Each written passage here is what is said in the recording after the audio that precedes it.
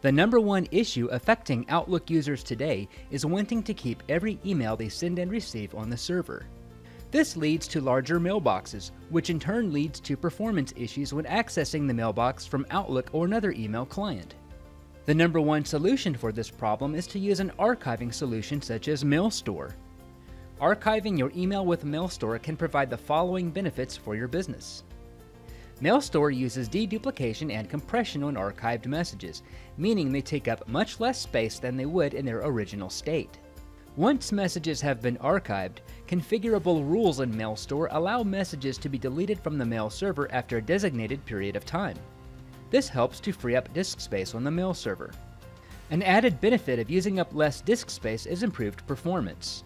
Also, keeping an archived copy of all email messages helps businesses and industries such as healthcare and finance meet stringent data retention regulations.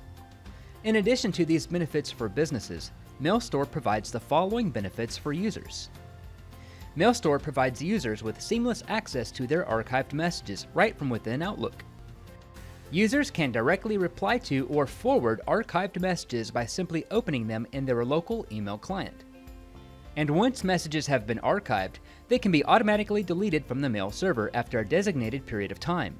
This frees up space in users' mailboxes so that quotas are no longer necessary to keep mailboxes from growing too large. MailStore is easy to use.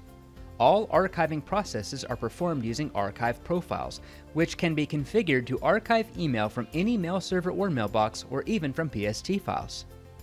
MDaemon users can easily access their MailStore archives from within World Client, MDaemon's web-based email client, by clicking on a custom button that leads them directly to the MailStore login screen. It's that simple. If you'd like to learn more, then visit the MailStore product page on our website at www.altn.com.